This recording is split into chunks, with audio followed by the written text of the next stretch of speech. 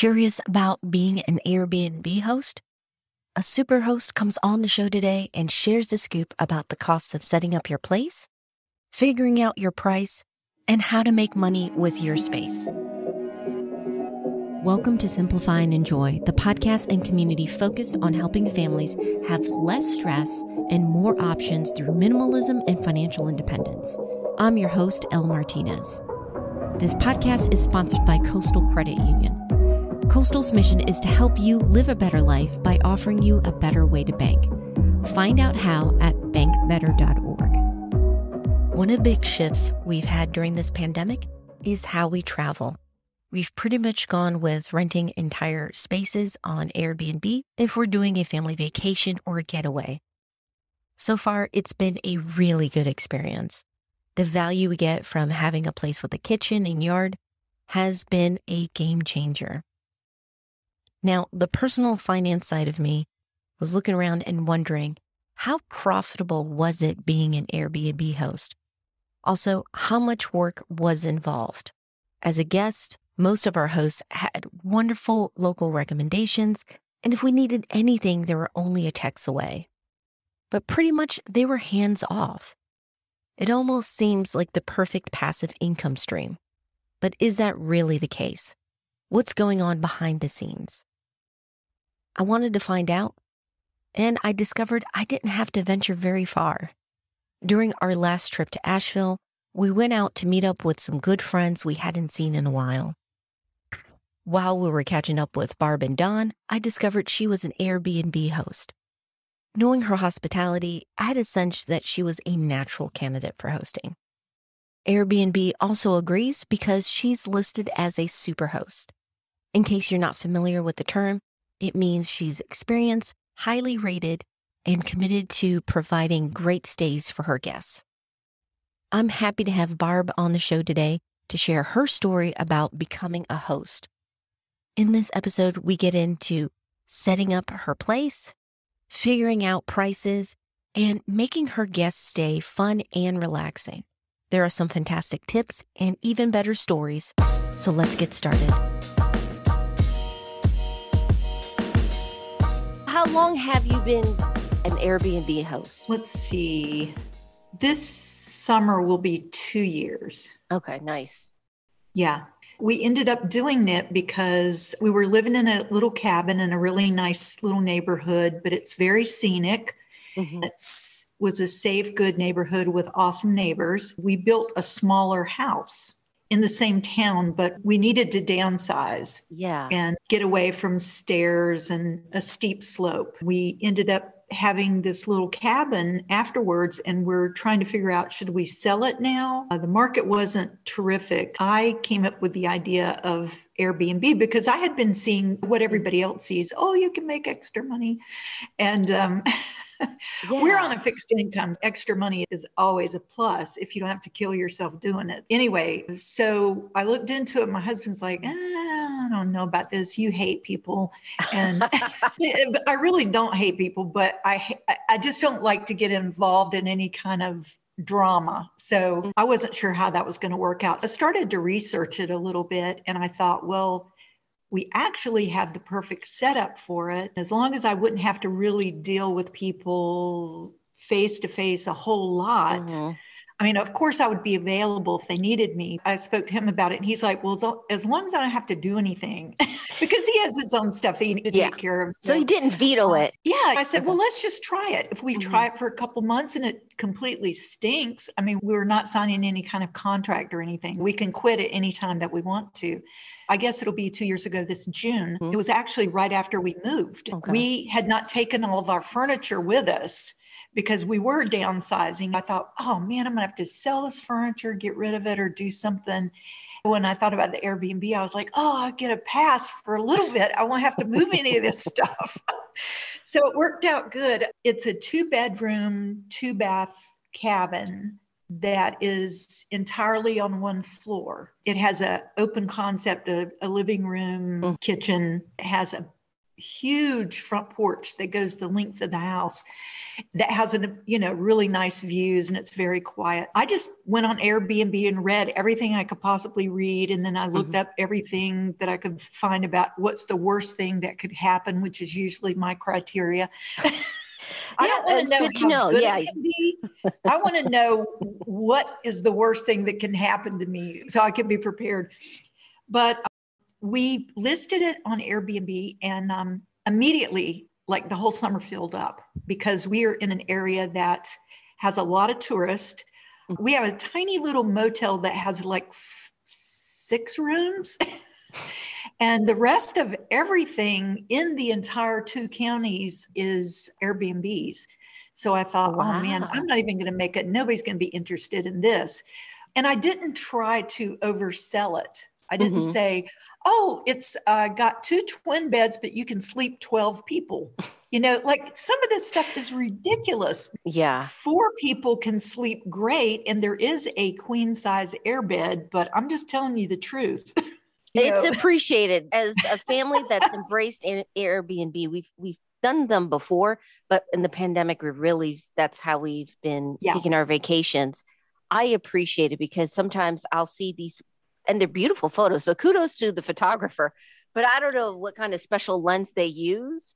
But I get right. there and I'm like, what? Huh, there's the wall. it, just, it felt so grand. exactly. I, I'm looking for space and I don't mind paying for that because I just need to have them decompress and, and relax. Yeah, and you don't want to have to blow up the airbed every single time, or you don't want to have one with a slow leak in it and the kids are complaining in the morning that they were cold and slept flat on the floor. I think too, because we like to travel. And so mm-hmm. we have stayed in Airbnbs and, and whatever the name they're called all over the world. So we've stayed in enough to know what not to do. Yeah. Like, I don't want to take help. a shower outside unless it's something I specifically asked for. You know, mm-hmm.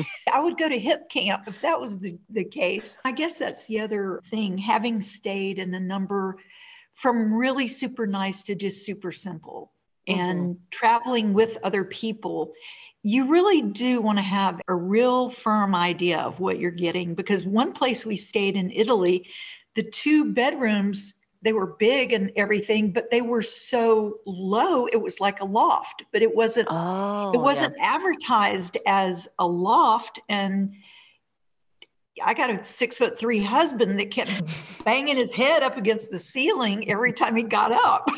well, see, that makes a memorable and, uh, trip, just the wrong reason. yeah. Or you want to know a place that has really tiny, narrow steps or a yeah. spiral staircase or whatever because you want to know what you're getting. A lot of yeah. times I've seen that it's kind of buffed up to look better than it is. And I don't mm-hmm. like that. I, I rather people come in and look at it and it's actually better than they thought it was going to be. That's where nice. really good reviews come in. So well, that's, that's kind of the angle I'm going for. So you get more than you paid for. so kind of rewinding back to when you were first starting what were your initial goals like was this money for maybe your vacations or did you have a particular goal or were you very let's just wait and see i don't want to budget that well, money out yet like i said we built mm-hmm. a smaller house and so but that gave us a mortgage mm-hmm. okay, so gotcha. when we did the airbnb we could pay the mortgage with the Airbnb money. It wasn't coming out of savings or it wasn't mm-hmm. requiring one of us to get a you know a full-time job or something like that or go into money that we didn't want to mess with. But we weren't sure how much it was going to be or how much it was going to cost us to do it. Mm-hmm. Those were all kind of out there. It was just one of those things where you just had to just jump in there and try it and see how it worked out. We got to go with that. That leads into my next question because yeah, I, I, can see some people say, hey, you know, I can rent out this room. It's easy to set up and I'll just rent it out but realistically there has to be some cost up front to fix it up and get it ready for airbnb do you mind mm-hmm. kind of taking me one through what you needed to do to get the place ready and also how complicated or not complicated is it to get on airbnb and list your place the getting it ready part was not that hard for us because when we were building our new house, we were already doing well, and we're good about maintenance anyway. I mean, we like a house to be maintained while we're living in it. Mainly, it was we had to put in a new parking area. The Oh, okay. slope that we live on was really steep. But we did have a paved drive, which was unusual in this neighborhood because most of it is gravel.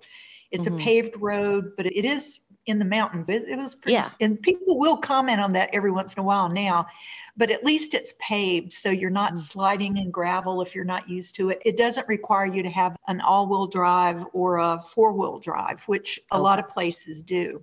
So we did have to spend some money on that. We at one point we had to replace our back stairs because they just weren't really up to par. I don't know. We, we just weren't comfortable that they Mhm. were completely safe. So we made them a little bit wider and, Yeah. and the treads a little bit bigger. We went around and because this is a two story, the front of the house is two story and it's a rather steep slope. We just made sure that the railings were all in ship shape. As a mom, I'm grateful And- for that. Thank you. Yeah, we don't want to lose any kids or anything. I went around and I made sure that you, I hate to use this phrase idiot proof, but you do have to kind of idiot proof it. I put in those little plugs for for babies because Yeah. I don't know if people watch their kids or not. I mean, I'm not there. hmm really, it, it just updating some things. The furniture was already really nice. So I kind of just added some touches to it, some pictures, some nicer stuff than I've normally seen. Mm-hmm. But it wasn't expensive because I'm a Goodwill shopper and Oh, yeah, you're- you're shopper, really so talented. it was those things just made it look a lot nicer, like you just stepped into your home instead of you just stepped into a hotel room or something like that. We did spend a little bit on really nice linens. Oh, I don't like linens that peel up, you know, that get Mhm. little pills on them. I bought, they weren't real expensive. I got them from Amazon, but 100% Egyptian cotton so that they could be washed every single week and they still look like they're brand new. The same Yeah. things with towels. I like 100% cotton. They're much softer and thicker. Things like that. We stock it with hand soaps and things like that. And I try to use things that nobody's going to be allergic to. We try to get like organic if we can, but Yeah. just really nice things that maybe people wouldn't buy.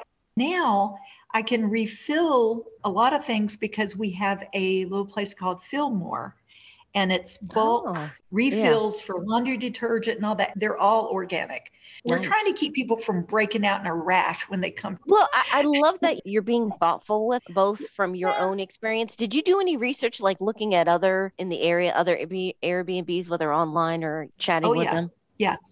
What I saw really made me think I could do it because a lot of it was just, I mean, it just, I would have been disappointed if I paid that amount of money Mhm. to stay at a place that looked like grandma's living room and grandma's bedroom and there were doilies everywhere. I mean, sometimes people would just overdo it or either it was so bare bones that you look like you need to bring your own stuff. I wanted people to just be able to walk in there and just go, wow, we can just stay here. We don't even have to go out. Because Yeah. what I did too in the kitchen, because my husband is a huge foodie, if you come to the cabin, you can make stuff with a blender. There's a crock pot. There's a toaster. There's a Wow. there's a French press. There's a drip coffee maker. Those things weren't expensive to get. Mhm. But people have raved. There's even an ice cream maker and a waffle iron. You can do anything Yeah. that you want to do while you're there. Um, we've had people really thank us for having such a well stocked kitchen. You don't have to go out and buy. Um, we Mhm. keep coffee, tea, and breakfast items. You know, really good oatmeal Ah, and really good uh, breakfast bars and stuff. Because I hate for people to come in if they come in late. At Mhm. least you'll be able to have a cup of tea and a, and a power bar before you go to bed. You don't have to go right to the grocery store.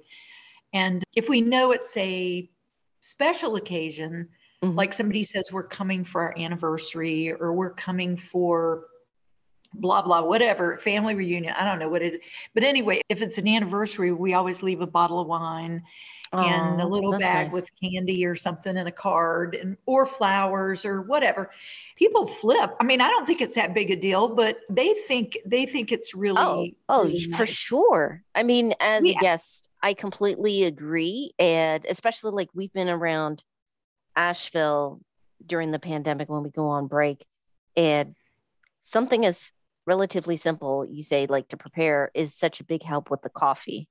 Oh, Sometimes yeah. we're not in town, and then you have to go like, "Where's the nearest coffee place?" And then I got to drive right. in the morning, and I need coffee to get coffee. That's not working for me. I know, and that's what I don't want you because we're like seven minutes from town, but it, there's mm-hmm. the most amazing coffee shop. But yeah, I want you to be able to get up, have some coffee, and sit on the porch in your pajamas and enjoy it. I don't want you to have to go out. And so I do leave. I mean, I leave like the coffee mate creamers, but then I'll yeah. leave milk creamers for the people who really want milk, like me. It's just, I, I have found it really fun because I'm mm-hmm. not always dealing with people face to face, but yeah. the feedback that I get is just, I mean, it's a real atta girl because it's like, you're doing a great job. And you're like, what? You enjoyed that? Oh, that makes me want to do more. That's the good part of it. Those are all the good things about it. I really, I only have one horror story, and it, it was just, I would say any horror stories can probably be avoided mm-hmm. by making sure that your description mm-hmm. that you put on Airbnb has no holes in it because yeah. it it was somebody who could have who really did want to make a terrible scene. It was just, it was awful. And it was because she was trying to say that we're misleading in our listing. And she went to Airbnb about us and they looked at it and they were like, nope. She's like, I want all my money back and I don't want to pay for cleaning and I'm going to stay anyway. And then I'm going to leave. And we were like, nope. you better try this scam on somebody else. But yeah. it's very disheartening. I was really hurt about it because we had had mm-hmm. all these good reviews. And then she left us one that was like you know, I would give you less than 10. I would yeah. give you a minus 10. well, it, it's funny because sometimes people reveal themselves because, like everybody else, before I stay, I look at the reviews and I look at the general tone. Like, there's things I'm looking yeah. for. Are the same things broken in every review? Are they like, yeah, the shower oh, wasn't working? You know, yeah. and then the other side is, is most of the reviews, you know, positive, and then there's this one review that doesn't even sound like the same place, and then you click yeah. on them and then you're like oh there's other reviews they just seem angry yeah well yeah hers was like five paragraphs and she only she stayed less than 24 hours so and that was because there wasn't a chain lock on the closet door but anyway and then they moved all the furniture in front of the closet door and i was like oh man i don't know and then raided the, the neighbor's yard and brought in wow. tools and stuff and left them. I don't know. It was it. I just didn't yeah. even want to go over there. Yeah, I just wanted it to die down. But I did realize when that happened that Airbnb will support you if you're in the right. Now, if you're yeah. not, because they kept saying, "Do you want to give her a refund?" I was like, "No." I'm not yeah. giving her a refund. This is crazy. This is a scam. She just wants to stay for free. No, there yeah. is nothing broken. but I get, I, she took all my toilet paper when she left. So I don't know. that was kind of ugly because toilet paper was used to good stuff. there is a reason why they give you a review, but there's also a reason why you give them a review. Yeah. And she had one review that was one sentence. It was like they were good. And I'm like, should I take a chance on this? Oh, sure. This I mean somebody with kids. How bad could how bad could it be? You got to have one memorable story, but I'm glad that overall it's good. I'm kind of glad to hear that story to know that Airbnb will have your back should something like that happen. I, I do want to ask well, you with yeah. the setup, how does that work on Airbnb when you are listing your place? Because I mean, um, at some point they have to verify that's actually your place, right? Yeah. Well, all I had to do, I, I did my own pictures. So okay. I didn't have somebody come out and do it. I have a little experience with it. And I didn't want it to give false hope either. you know, like, this place looks gigantic, but it's only 1,200 square feet. I really wanted to be very honest about what people were getting, but just a little bit of staging. I mean, I just leave it like it is, like it, like you're going to see it when you walk in there. It's not, not got any extra stuff. But yeah, going on Airbnb, I just, they verify who I am. Okay. I had to verify who I am and then putting the pictures. I don't remember that I had to show like a property record card or anything like that. I think they just go off of my personal information as the host. Okay. Did you have it to do like a driver's license? Yeah. You have to have two forms Okay. of ID. Okay. And so that wasn't hard to do. And, you know, that, and normally a host will provide a picture to, Mhm. that goes on their, on their little site that will assure people that, you know, It's a real that's person. that it's a real person. Yeah, some of those pictures kind of worried me. I'm like, maybe I'll stay at some other place. I know, right? It's like, I don't know. This looks a little sketchy. they don't look happy to be on Airbnb. No, But- no. We actually stayed in a place that the people did not look happy to have people staying there. And so Don and I were like, "Yeah, I don't think so. I don't think we'll come back. So you set it up and fixed it up the way you like it and and for guests. Okay, now's the part I am curious how people even figure this out is like your rates.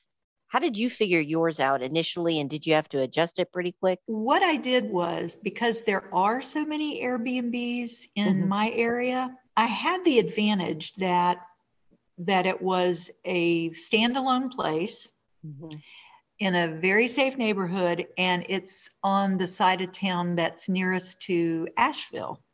Yeah. So if you're staying like where I live now, it takes Mhm. me 20 extra minutes to get to Asheville. On the other side of town, it's a straight shot, 30 minutes, and it's Nice. interstate. Very nice. What I did was just did a comparison to what was similar to what I've got and mm-hmm. my setup and the proximity to where people want to go. I started out with that and th- my calendar immediately completely filled up. Wow. And I, I thought, whoa, wait a minute. wait a minute. then I saw where you could do, there's a thing on the on Airbnb called smart pricing. Mhm. So if you if there are holidays or there are like in the mountains, people want to come in the summer and they want Mhm. to come in the fall. Yeah. The winter, not so much unless it's a holiday. What it does is it raise, raises the rate slightly. You give them the criteria. You can go from here to here. This Oh, is the lowest you'll take, and this is the highest you'll charge. Some of them I've seen are ridiculous. I mean, they're Mhm. asked for a crazy amount of money, but mine fluctuates about $25. You're not going to pay Okay. A whole lot, even for a special occasion. I do give a discount for longer stays, which is nice. I just had one in December, which was great. The people were awesome.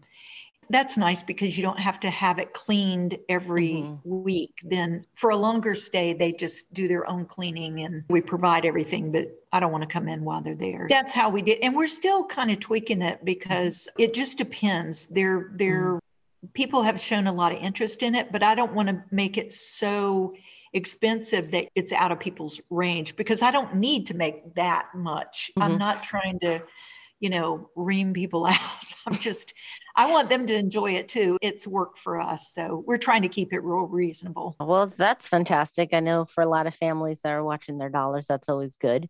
oh, Um, yeah. Speaking of expenses, you mentioned Uh-huh. making sure for every booking there's cleaning. What other extra expenses, uh, including maybe wear and tear, or any stories about guests that you've had an unexpected expense after a visit? Yeah, we have leather furniture in the Mhm. cabin. And then we have, I mean, like a leather recliner that's a nicer one. It's not one that looks like at your grandpa's house, but and a nice leather sofa, which Mhm. to me is better because people, I've heard horror stories of ruined upholstery. So I thought, Yeah. well, the kitties have scratched a few places on this, but it still looks good. Mhm. and it's still super comfortable. We tried to go with furniture that was couldn't really be killed too much, you Yeah. know. Like I said, anything that needs to be replaced, I'll replace it with something really nice, but I'm going to get that piece of furniture at Habitat. If I need to paint it, I will, but so far there hasn't been too much damage. Like we had these a young couple that had a couple of kids and I think the mom and dad just decided to party and just let the kids like run wild with blue cake icing. Let me tell you something, you cannot get it out. It was just like they had a cake fight, you know. And that and the tequila bottles, I know they had a good time over there. That's one of the one of two experiences that were terrible. Everything else, I mean, I haven't had like people ruining my towels and things mm-hmm. like that. And a lot of people do because ladies that wear makeup and don't use a makeup remover wipe, they'll th- yeah. that stuff gets you just have to make it into a cleaning rag because you cannot get that stuff out. But so far we've been really fortunate to have people be pretty careful with it, pretty nice to our house. It sounds like overall it's been a good experience with it Airbnb. Has, yeah. I mean, Airbnb takes their cut. Now don't don't mm-hmm. get me wrong and cleaning during COVID is more expensive because we yeah. don't play with that. We wouldn't do it if we could not make it safe for people because I don't mm-hmm. want to go anywhere that people are saying, "Oh, we clean to a to this certain protocol," and they don't do it.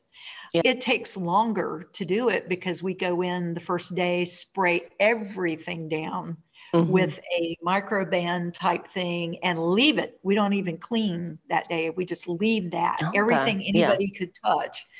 And then if it's during warm weather, we'll just open the house up and just let the house air out for a solid day.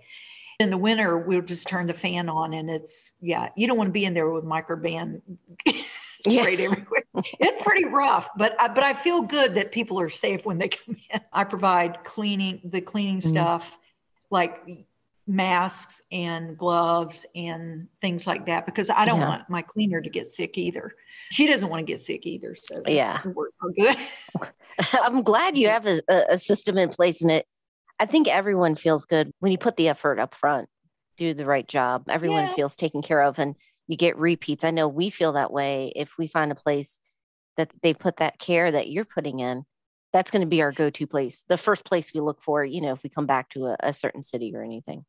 We feel that way too. I mean there are some places that we have stayed mm-hmm. that were just so i mean the host just went out of their way and we mm-hmm. could tell it. We definitely go back there just because we've actually gotten to know the host. That's kind of cool. You feel like you've made friends all over the world just by and i actually have had some guests that were just so they're so funny and nice. One lady, it snowed while they were there. No, no, not snow.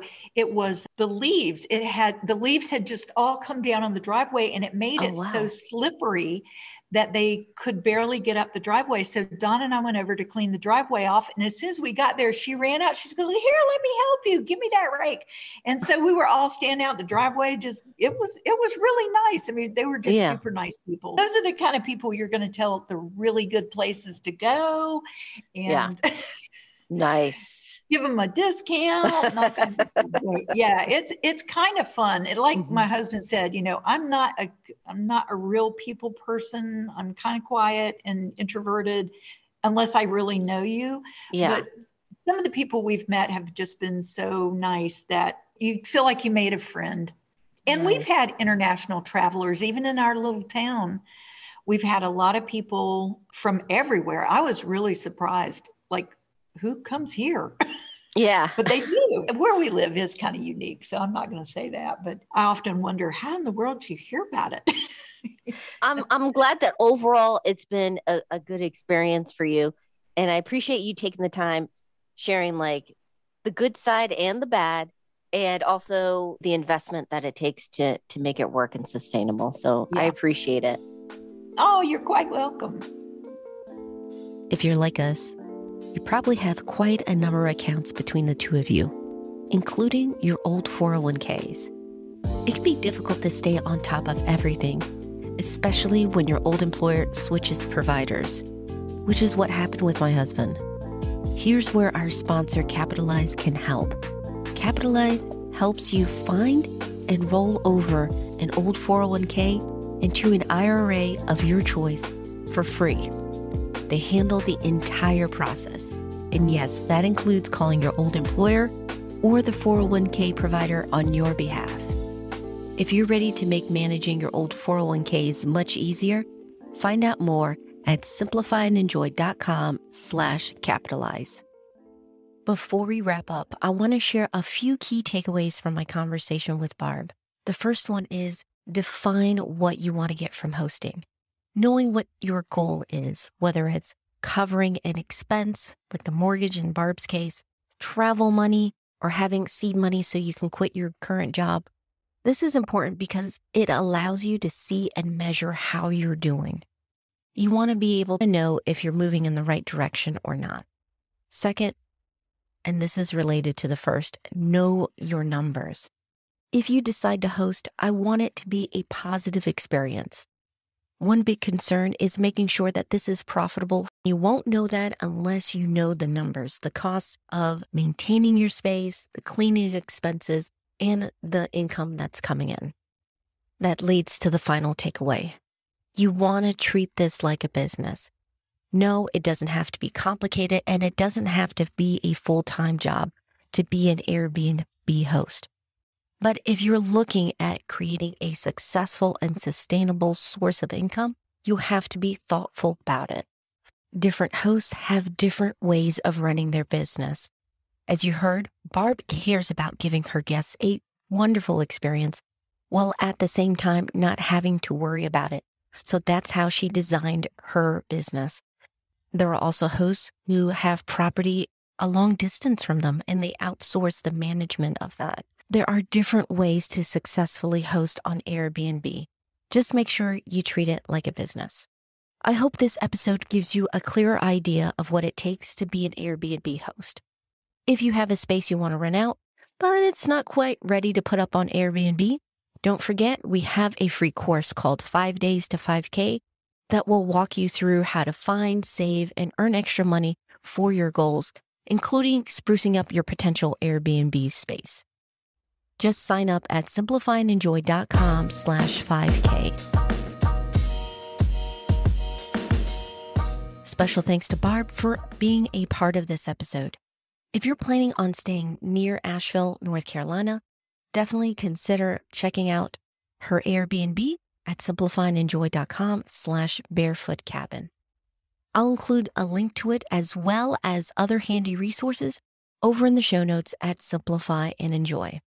Next week on the podcast, not only will it be March, but it also means we've been dealing with this pandemic for two years. I don't know about you, but I feel like we've made a lot of shifts ourselves.